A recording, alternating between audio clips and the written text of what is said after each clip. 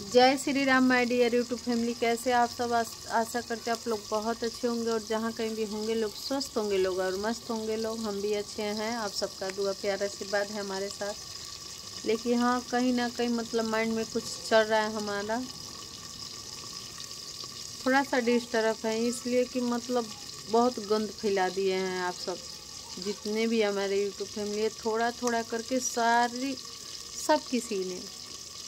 एक लड़की के जीवन में मतलब मतलब वही एक लड़की के जीवन में अगर थोड़ा सा खुशी आ जाए तो किसी से बर्दाश्त नहीं होती है। और दुख में रहे तो हाँ बेचारी ओ हो बेचारी ऐसी है, बेचारी वैसी है। वहीं वो खुश रहना शुरू कर देती है तो आप सबको खटकने लगता है। तो थोड़ा थोड़ा मिर्च मसाला आप सबने लगा के किसी का जीवन बर्बाद करने में कोई कसर नहीं छोड़ा। आप सब समझ सकते हैं कि हम किसके बारे में बात कर रहे हैं और किस मुद्दा पे कर रहे हैं।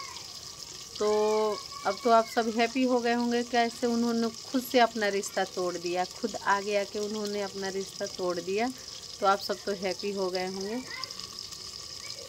तो किसी का हाय मत लीजिए, किसी का दुआ लीजिए बदुआ मत लीजिए, हो सके तो जितने भी चीज़ें इधर से उधर हुई हैं, बिखरी हैं, उनको समेटिए, उसको ठीक कीजिए, जो गलती आपने की है, उसको ठीक कीजिए लोग।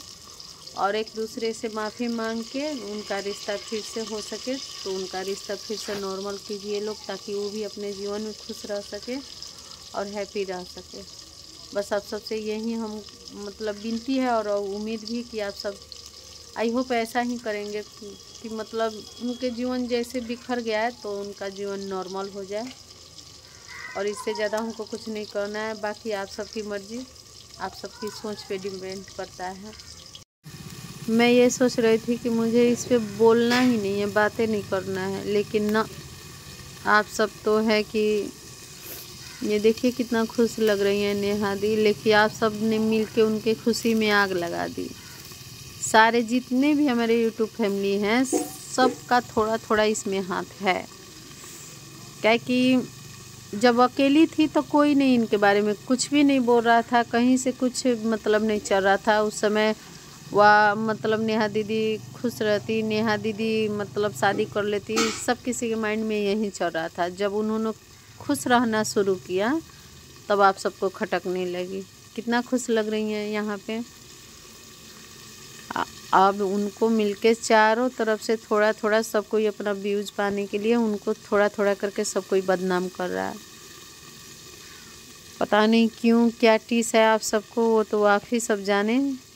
आप सबका माइंड का हाल, वो आप सब जानते हैं, हम नहीं जानते, लेकिन हाँ ये ऐसा नहीं करना चाहिए। हो गई इनकी ज़िंदगी बर्बाद, अब इन्होंने अपना शादी खुदे तोड़ लिया। अब आप सब हैप्पी हो जाओ।